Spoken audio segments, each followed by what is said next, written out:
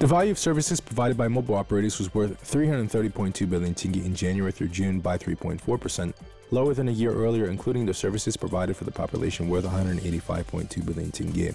Two thirds of the volume of communication services account for mobile communications and the internet.